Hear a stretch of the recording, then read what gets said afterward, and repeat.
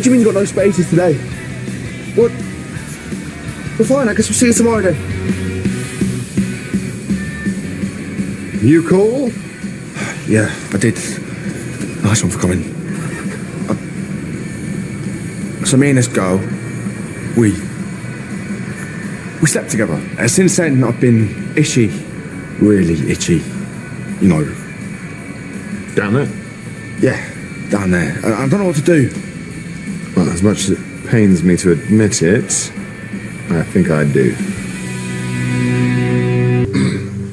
we never ever speak of this again. You think I want to relive my dad inspecting my genitals? No, thank you.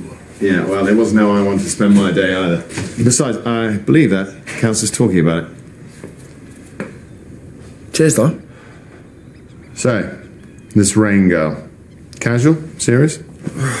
Mate, I am proper into her. Like, butterflies in my tummy, big cheesy grin whenever she enters the room, sweaty palms whenever I'm near her. How does she feel? No clue. Oh, what do I do, Dad? Before or after burning the bed sheets? You need to tell her. Say what? Hi, Rayne. I really like you, and I think we could be something really serious. But by the way, you might want to check down there because you may have an STI. Perhaps something a little more refined. Besides, as we've learned today, a little bit of cream and it'll be gone.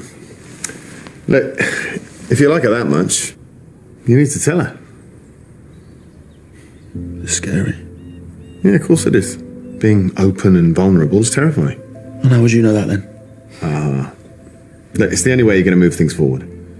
Be open, be brave, be vulnerable.